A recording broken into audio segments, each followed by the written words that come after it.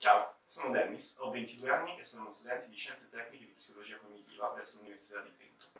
Mi sono avvicinato ad ARAS tramite il progetto Super, che è un progetto che mira alla sensibilizzazione del tema delle migrazioni e del volontariato in generale.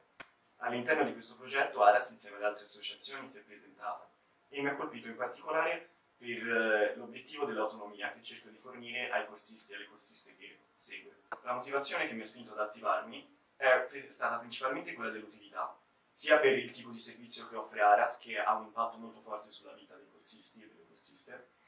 sia perché è, utile, è stato molto utile per me in quanto studente rispetto, o almeno confrontato con le altre opzioni che ho per ottenere i crediti del tirocinio.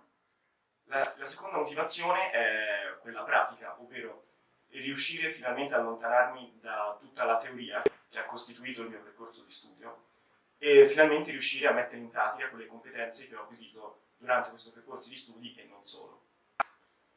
Le attività che ho svolto all'interno di ARA sono state principalmente eh, ricerca, della, ricerca, attiva del lavoro, eh, preparazione e aggiornamento del curriculum e incontri mirati all'utilizzo della lingua inglese. ARAS mi ha incluso in uno stile di vita che è composto da vari incontri con i corsisti ma anche con altre associazioni, ci siamo trovati insieme per esempio a cucinare nuovi piatti, incontri di formazione con una psicologa del lavoro che ci ha insegnato gli stili comunicativi da utilizzare in una relazione di aiuto, che non solo mi ha permesso di imparare nuove competenze, ma anche di vedere il ruolo di uno psicologo del lavoro sul campo.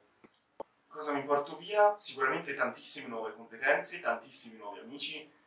fantastiche esperienze e